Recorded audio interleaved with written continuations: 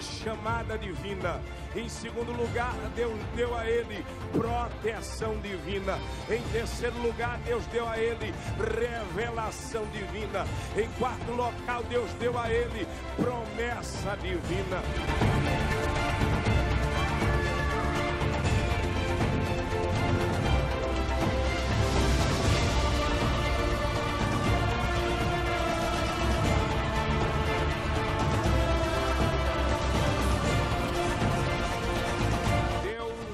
Quando escolhe o homem, não importa o local, não importa a hora e não importa o momento. Quando ele bateu os olhos em você, ele disse: É ele que eu escolho, é ele que eu quero usar, é ele que eu quero levantar.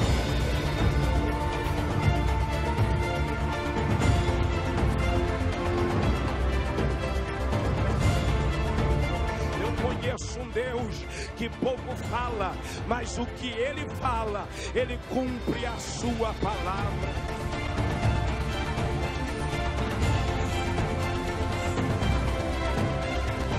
Será que você está entendendo o que Deus está falando? Parece que o culto está normal. Parece que o Gideão é o mesmo Gideão que não veio ano passado. Mas Deus tem algo profético para te dizer. É um Gideão diferente este ano para a sua vida. Quem acredita, vem comigo no glória. Quem acredita, vem comigo no glória.